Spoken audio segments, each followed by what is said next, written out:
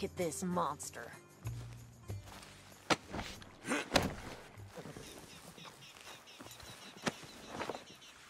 So he's still alive then? Ah. Yes. You see this girl?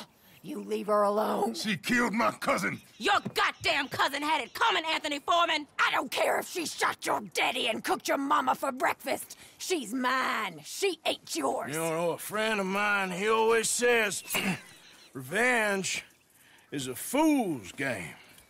Now, you want all your boys dead? She had her reasons.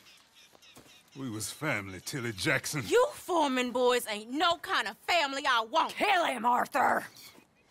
You want that? I want him to go away and tell the remaining of his cousins and the clowns he rides with to leave me alone. Now, you think you can do that, Anthony?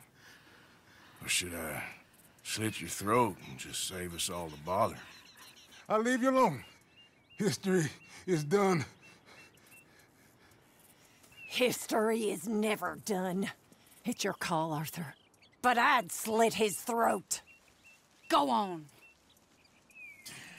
Sadly, I agree with you. Sorry, partner. We can't take no chances with the likes of you. 是啊。